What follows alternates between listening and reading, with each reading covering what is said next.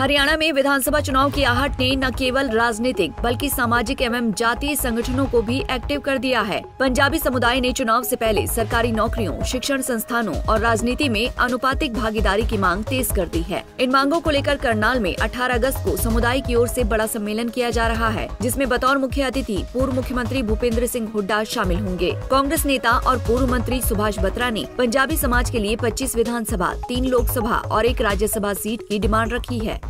कि 35 साल के राज में चाहे चौधरी बंसी लाल जी रहे, चाहे चौधरी देवी लाल जी रहे, चाहे हुडा साहब भी रहे, जो हमारा बैकलॉग है लाखों लाखों की संख्या में रिक्रूटमेंट हुई यूनिवर्सिटीज़ में हुई, नौकरियों में हुई, लेकिन किसी ने भी हमारे संख्या बल के हिसाब से हमें वो चीज़ जो मिलनी चाहिए थी वो नहीं मिली।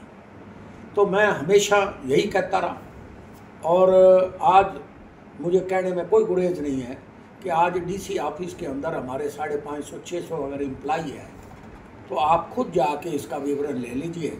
वहाँ पर आठ भी हमारे समाज के लोग नहीं हैं। इसका मतलब ये हुआ कि हम शून्य पे खड़े हैं। हमारा अठारह को।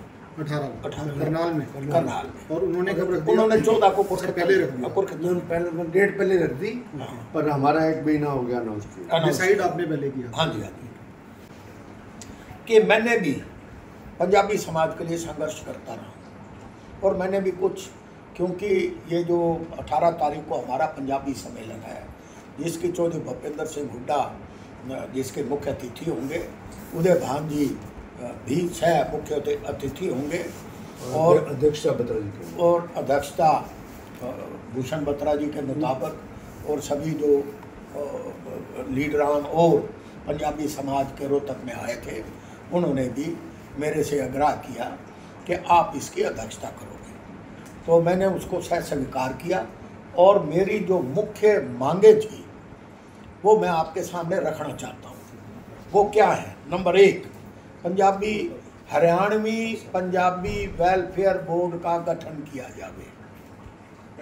नंबर दो, जो हमारी मांग है कि जो स्मारक इन्होंने 10 साल बीजेपी की सरकार ने झूठे वादे करके एक ईंट नहीं लगाई। हम सरकार बनते ही पहली कलम से जो लाखों लोगों ने शहीद हुए जो कुर्बान हुए, इस देश के लिए एक भव्य स्मारक बनाया जाएगा। तो तीसरा, हमारी आबादी के अनुपात से रिक्रूटमेंट में सभी हम किसी का हक नहीं छीनना चाहते। हम चाहते हैं समानता के हिसाब से जो हमारा शेयर बनता है, उस शेयर के हिसाब से हमें नौकरियों में कॉरपोरेशन में, हर जगह पर हमें स्थान मिले। चौथी मांग ये कि आबादी के हिसाब से हमारी 25 से 30 कॉन्स्टिट्यूंसीज में पंजाबी समाज के लोग ही मैटर करते हैं। आज जाटों के बाद दूसरी संख्या बल के हिसाब से हमारे समाज की आबादी है। हम ये चाहते हैं कि 20 से 25 कॉन्स्टिट्यूंसीज में हमारे समाज को विधानसभा की टिकटें दी जाएँ ताकि विधानसभा में जाके हमारे समाज की बातों को पुरजोर तरीके से उठा सकें। तीन लोकसभा की और एक राज्यसभा की सीट। वहीं विधानसभा में कांग्रेस के चीफ विप भारत भूषण बत्रा ने बीजेपी पर पंजाबी समुदाय के नाम पर केवल राजनीति करने का आरोप लगाया। उसके बाद जिन दर्दों को जिन दुखों को जो दुख वहाँ पर हमारी बहनें और माताओं को ज़िंदा जलाया गया, या उन्होंने खुद अपनी जान किसी ने कुएँ में खोद के दी, किसी ने दिया कि ये को कत्लेआम किया गया। वो बहुत बड़ा दर्द, एक मंज़र था।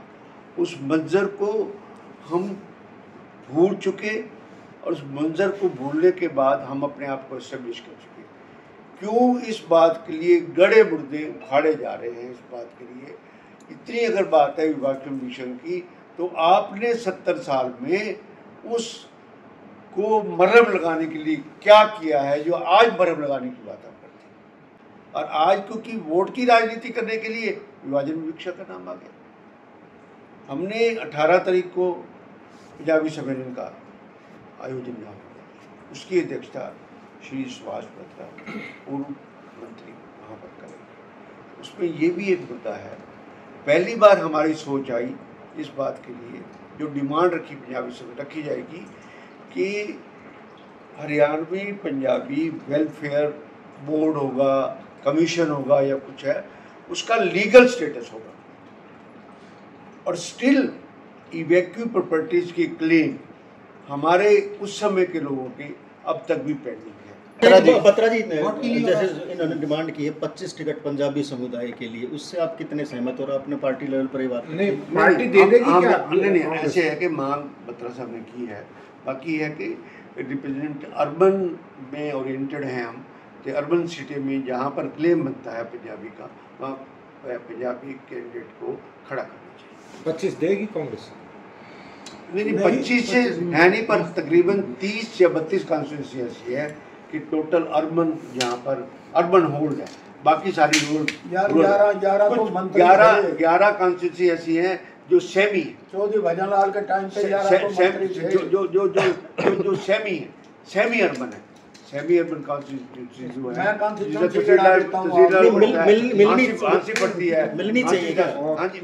बता दें कि फ़िलहाल राज्य में पंजाबियों के सबसे बड़े नेता पूर्व मुख्यमंत्री और केंद्रीय मंत्री मनोहर लाल खट्टर माने जाते हैं।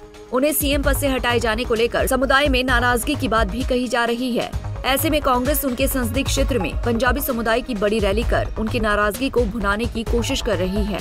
रोहतक से दीपक भारद्वाज, पंजाब केसरी टीवी। हमसे जुड़े रहने के लिए हमारे YouTube चैनल को सब्सक्राइब करें और नई वीडियो की नोटिफिकेशन के लिए बेल आइकॉन को दबाएँ। अगर आप ये वीडियो Facebook पर देख रहे हैं तो लाइक ज़रूर करें और ज़्यादा से ज़्यादा शेयर करें। धन्यवाद।